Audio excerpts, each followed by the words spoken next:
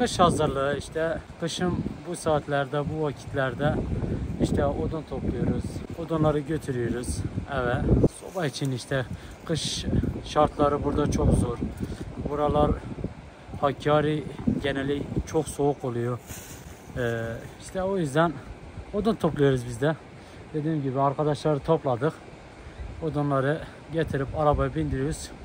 Çünkü kışın burada yol şartları çok sıkıntılı. Köy içine araçlar gidemiyor. Biz de işte odunlarımız dış tarafta olduğu için, köyün dışında olduğu için odunları arabaya bindiriyoruz.